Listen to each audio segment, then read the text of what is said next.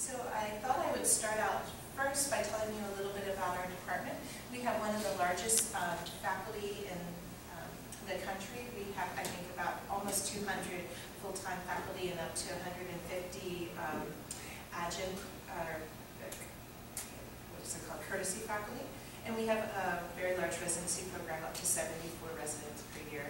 Um, we have a combined residency, so we have the University of Maryland as our downtown academic center, and then we're also linked to Sheppard Pratt Hospital, which is a private psychotherapy, um, psychiatry only, like 350 bed hospital, about 15 miles away. Yeah, so we're unique, I think, in having so many different sites for we train. We've got our urban academic hospital, the private uh, Sheppard Pratt. We've got a VA system directly connected to us across the bridge. Um, we're highly involved with the state hospital system. We have an enormous forensic system. Um, we have a huge mobile treatment team program. Our former chairman helped develop and validate the concept of assertive community treatment and uh, large community clinic settings. And we have an excellent record in educating medical students. So for many years, psychiatry has been the top-ranked clinical clerkship for all third-year medical students. Um, we also have this special program that has been going for more than 20 years called CAP, the Combined Accelerated Program in Psychiatry, which is a competitive admission program between 12 and 16 students per year, where the students every week have after, um, after class special training in psychiatry in their first and second years. And then in this gap between first and second year summer, they can do basically their psychiatry clerkship. Um, and then they earn a couple months of extra credit in their medical school curriculum, which opens up the opportunity for other elective work. And it's been a very effective way at recruiting folks both into psychiatry as well as giving the, having more psychologically minded colleagues go into other subspecialties.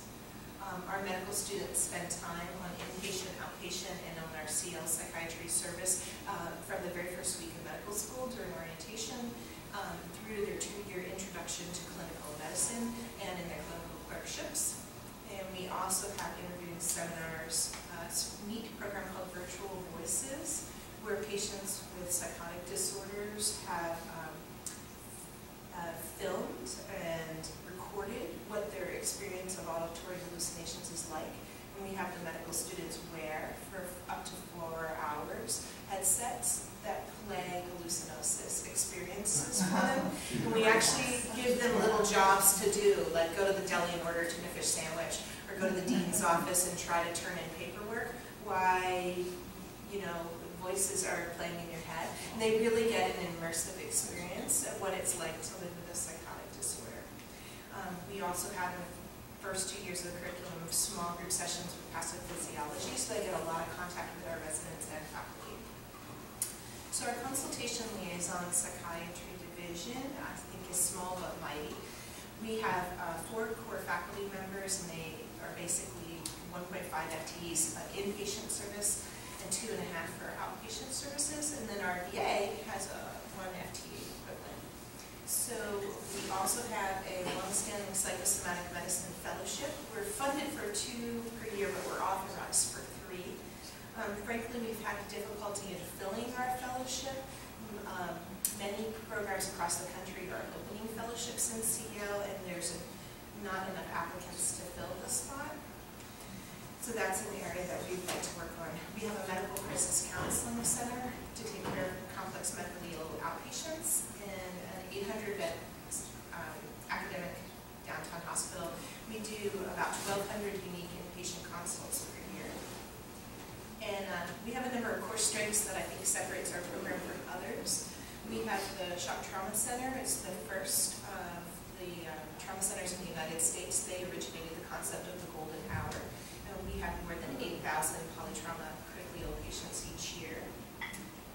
Um, many of whom got themselves into trouble by doing dangerous or foolish things. So Shock Trauma actually supports the salary for um, a psychiatrist to see most of their patients.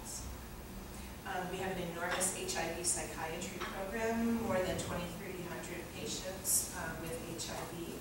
And we see them at two different clinics that both provide integrated mental health care because we know about 80% of our patients have a history of trauma and addiction. So we've got substance use, primary care, pharmacy, social work on site. We have the capacity to do directly observed therapy for patients with compliance problems. We run classes like HIV 101 and a CAFE program for patient-to-patient mentorship. And we do a lot of community outreach with the faith-based community to get testing. And we had more than 2,800 um, mental health patient visits with the HIV program last year. We also have a big transplantation program, one of the largest in the country for heart, lung, liver, kidney, and pancreas. We've had a long-standing bone marrow transplant program, and we're branching into new frontiers. We had a face transplant patient, which was co-managed by my division director, um, Dr. Ehrenreich. Uh, we have a very large psycho-oncology service. We are an NCI designated cancer center, and um, as you may know, in order to maintain accreditation by the American College of Surgeons, all cancer centers now must set up routine screening programs for distress for their patients. So we're expecting a tidal wave patients to be referred to us. New guidelines, right? Yeah. So other partners and work sites, we have embedded psychiatrists in the Division of Diabetes and Endocrinology. We also work at the, the State Division of Rehab Services um, for vocational readiness with people with developmental disabilities, mental retardation and physical disabilities. Um, we are closely linked with our divisions of services research. They run psychiatric services um, uh, magazine looking about how you do healthcare practice. Um, we're connected to our VA with a primary care mental health integration program with embedded psychiatry in a clinic with 43 different primary care providers. Uh, we have a research arm through the MIRECC. I sit on the National Reproductive Mental Health Initiative to do safe prescribing of pregnancy and um, the site uh, co-PI for a study for treating um, treatment-resistant depression in veterans called VAST-D. Um, I'm also on the state intimate partner domestic violence task force for screening for intimate partner violence, which is the leading cause of morbidity for reproductive age women in the state of Maryland. Um, we work closely with our substance use disorders consult service and our palliative care service. So our CL psychiatry program is a preferred training site. Residents spend three months with us in their second year. The ACGME only requires two. And we also have electives in your fourth year in CL at a community hospital, as well as in HIV psychiatry, women's mental health, psycho-oncology, and the primary care mental health integration program. We are also the site that trains all of the neurology residents at Maryland that choose to come to site to CL um, rather than the inpatient program. And we also train residents from internal medicine, emergency medicine, and family medicine.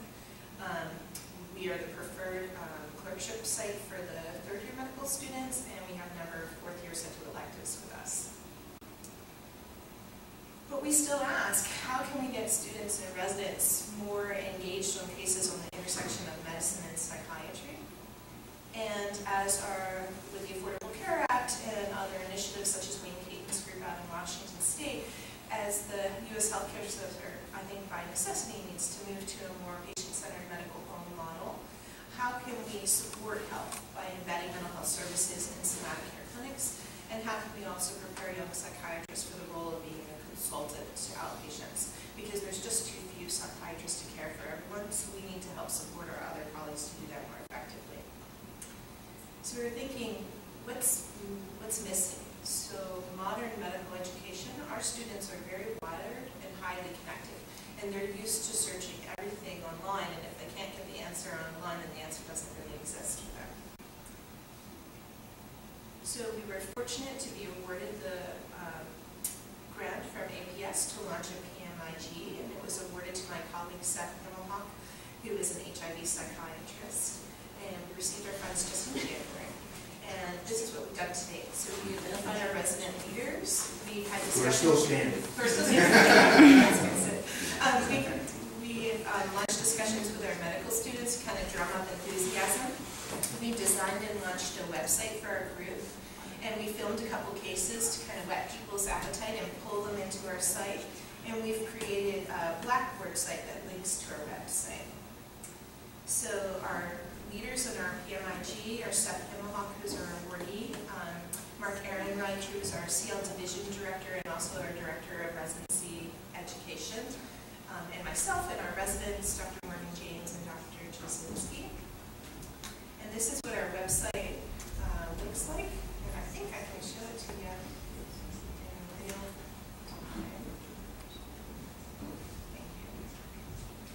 It's in Chrome. All right.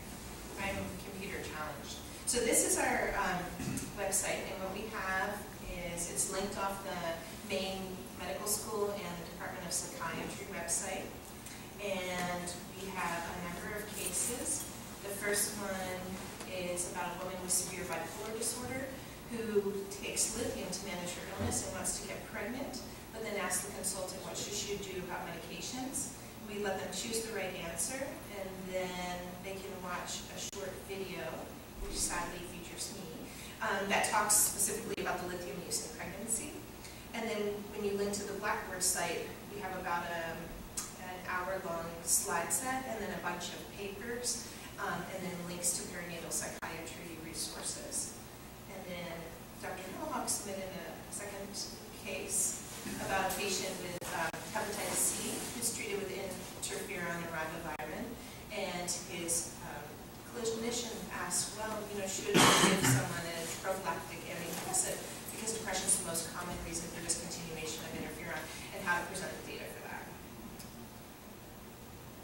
And then these links lead us to a Blackboard site, which the students are all familiar with, and this is useful because it's closed, because it, so it lets us talk about real cases with protective health information, which are somewhat more interesting than totally generalized ones, and it gives a forum for residents and medical students to discuss uh, the cases in an interactive way.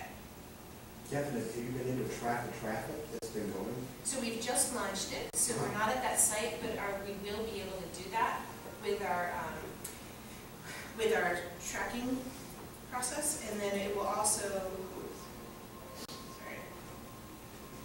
sorry. Um, also be, we'll be able to track traffic, and then also when folks sign in, we'll capture their, uh, registration information. So it's So it'll build like a database of Yeah. people who have looked at it, so then we can write to them and invite them to all of our meetings and our groups. That's. Um, Because that's the type of information that, you know, especially, you know, Scott can talk about the, the committees, you know, looking at what's the best medium, you know, for raising, you know, cases and, and who responds to what, and, you know, your data there, I think, would be very helpful.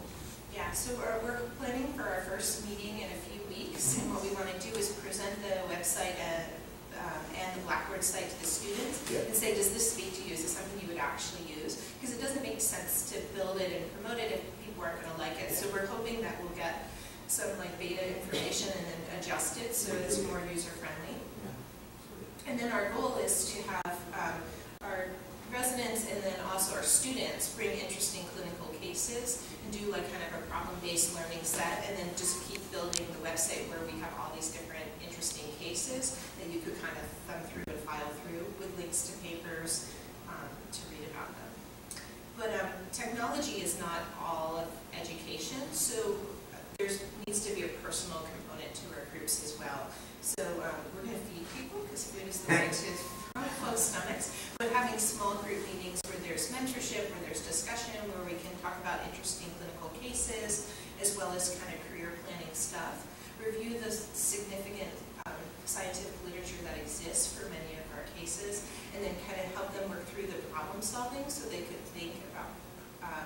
complex medically ill patients in the way that experts in psychosomatic medicine do.